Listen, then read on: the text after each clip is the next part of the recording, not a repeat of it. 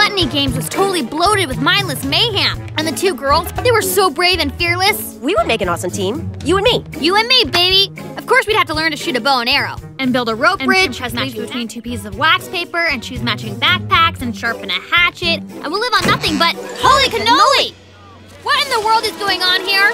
Phineas and Ferb! Ladies and gentlemen, boys and girls, babies and slightly smaller babies, welcome to the Phineas and Ferb Ultimate Obstacle Course. The first team that makes it all the way to the end, you know, alive and stuff, will win this nifty trophy. So are you ready to get muddy? That tears it. Those two are so. Hang on, Candace. We can win this. Yeah, we can. Wait, what? I want that trophy. Why? Very good, Ginger. We'll put it up here with the rest of your awards. I'm still saving a place for your trophy, Stacy. You know, just in case. Uh... Candace, we'd make an awesome team. All right, I'll do it. For the trophy. And for whatever it was you're thinking about just now.